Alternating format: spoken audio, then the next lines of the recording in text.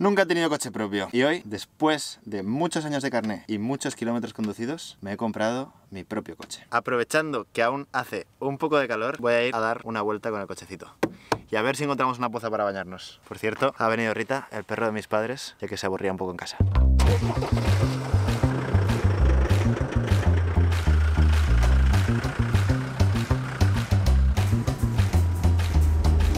Rita nos sigue.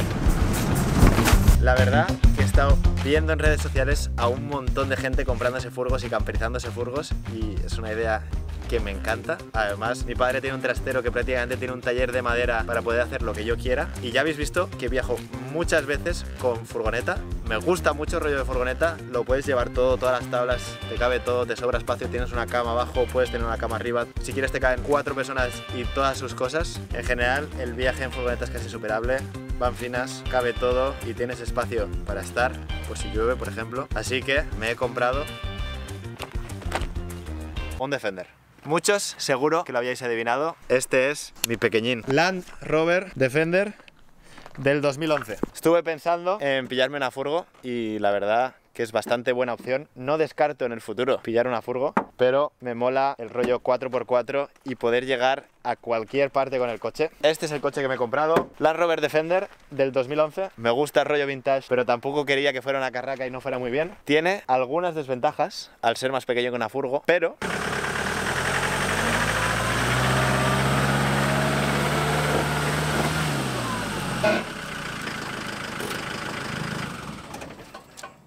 ¿Una furgo puede hacer esto? Aparcado.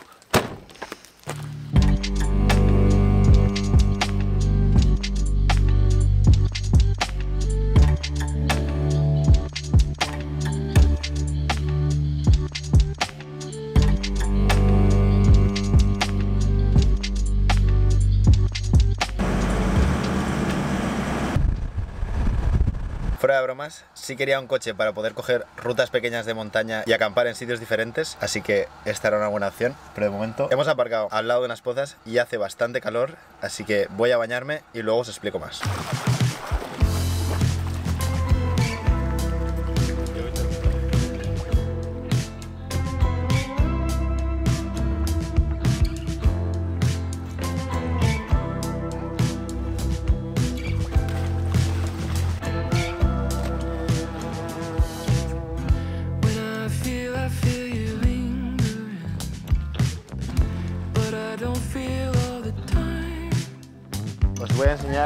Poco cuál es mi intención con el coche. Lo primero me compré el largo, el de cinco puertas, para con suerte poder dormir cuatro personas dentro. Los asientos de atrás se tumban perfectamente.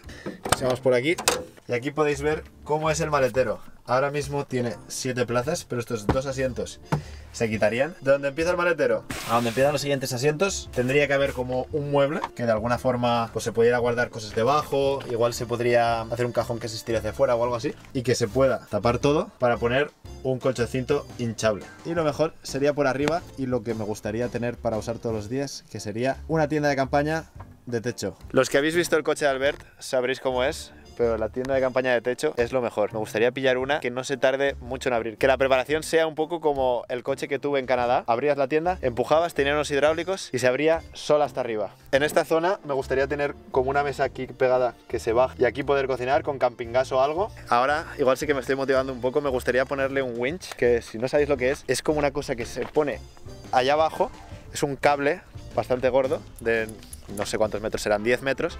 Entonces, si tú te quedas estancado, por ejemplo, en barro, puedes coger el cable, atarlo a un árbol, o por ejemplo, si estás estancado en arena, tienen como una especie de bolsas que recogen arena y ese cable estira fuerte y cuanto más estira, más arena recoge y entonces consigues salir de donde sea que te hayas quedado clavado. Ah, sí, también quiero cambiarle el equipo de sonido.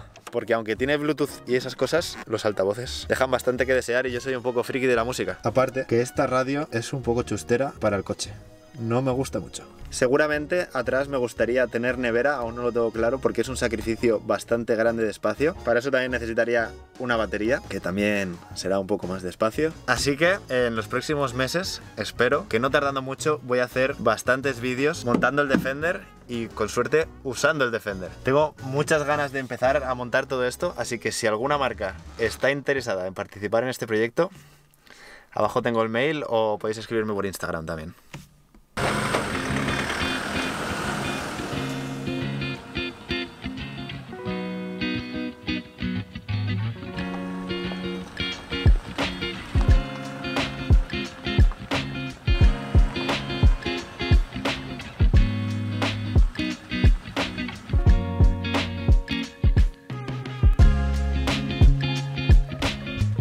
Segunda poza del día, está bastante más recóndita, hay que hacer camino de tierra y luego andar un buen rato y mirad cómo está el agua. Creo que está marrón porque hace dos semanas no tenía nada de agua y ha habido lluvias y creo que han arrastrado barro. Aún así creo que me bañaré. Rita, ¿tú te vas a bañar conmigo? Sí.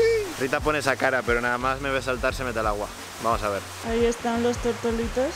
Te han mirado para ver qué hacías, se la ha pensado y dice, no, no, yo no.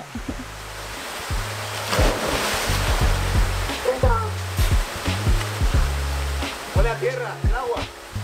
El agua sabía tierra, muy mala idea. Después de este fracaso con mi perra y con esta poza que está un poco sucia, os quería contar que el coche ya ha tenido varias vidas. No soy yo su primer dueño. Como habréis intuido, ya que el coche es del 2011, es un coche de segunda mano. Lo cual es la hostia, por un lado, ya que no han tenido que contaminar más y crear otro coche nuevo para que yo me lo compre, pero sí que es cierto que tiene algún fallito. Ahora vamos a ir de vuelta y os lo voy a enseñar.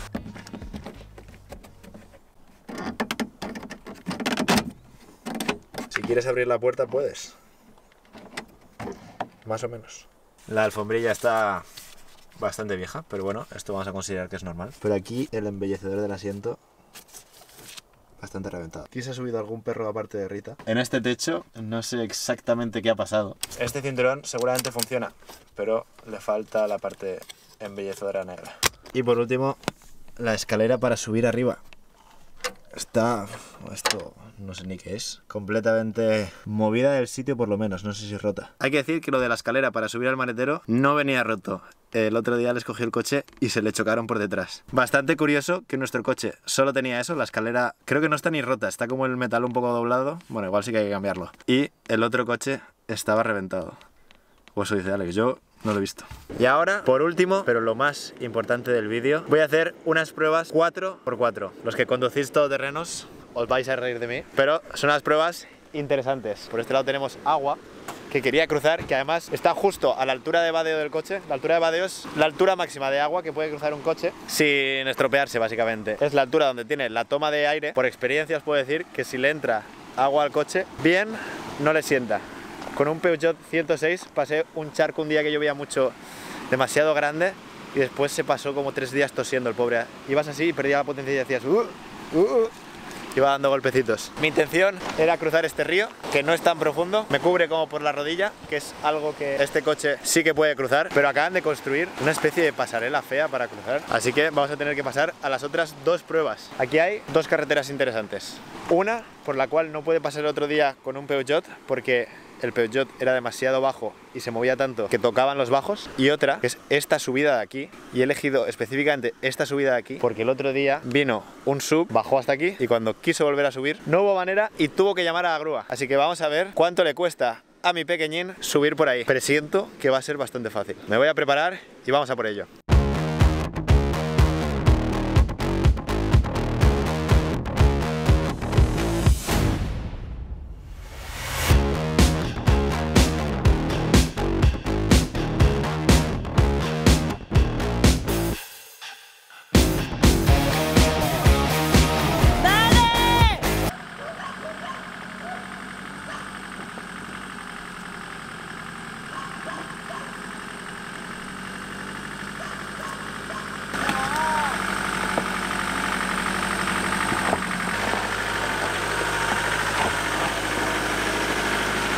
Misión completada con éxito. Si os soy sincero, creo que no necesitaba ni la reductora para subir aquí.